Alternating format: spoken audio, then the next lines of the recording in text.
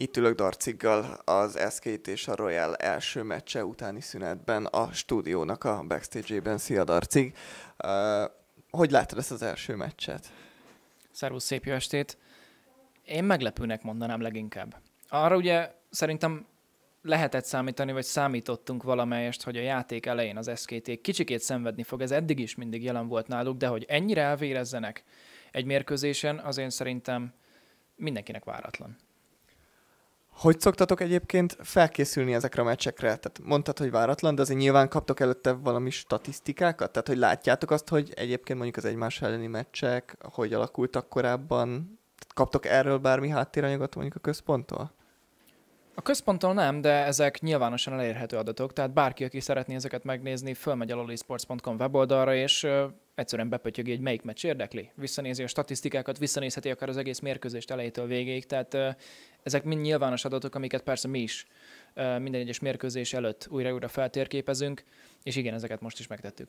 Tehát akkor ez nektek egy masszív kutató munkával telik, mondjuk egy pont egy ilyen negyed döntő előtt, hogy leültök a gép elé, mondjuk délután, és akkor elkezditek böngészni az adatokat, hogy egymás elleni meccsek, statisztikák, mit tudom én.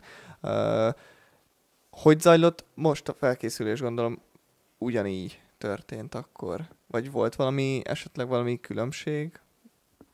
Arra szerettünk volna leginkább kitérni, amikor ezekre a mérkőzésekre felkészültünk, vagy erre a mérkőzésre felkészültünk, hogy a group stage-ra hogyan jutottak ki a csapatok. Tehát a Royal Never Give Up-nak a leginkább arra mentünk rá, vagy a Royal Never Give Up-nál leginkább arra mentünk rá, hogy miért szenvedtek annyira a saját csoportjukon belül, mert hogy az nem tudok, hogy szenvedtek, csak a TSM-et tudták 2 nullázni, minden négy másik mérkőzésükön pedig olyan mértékű szenvedést láthattunk tőlük, hogy szerintem bátran mondhatta volna bárki, hogy ne jussanak ki a group stage Nem érdemlik meg egyszerűen csoportkörökben, ragadjanak bent, és menjenek e, nyugodtan haza, de hát nem így történt. A TSM-es 2-0 miatt ők automatikusan továbbítottak. Még az SKT-nél inkább azt néztük meg, hogy mi az, ahol meg lehet őket fogni. Náluk talán inkább az az, ami fontos, mégis a kétszeres világbajnok csapatról beszélünk, és pontosan ez alapján készültünk fel.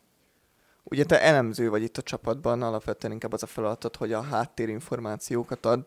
Szerinted ez nehezebb, mint mondjuk egy ilyen tipikusabb, ez a play-by-play kommentálás, vagy inkább csak más? Mi erről a véleményed?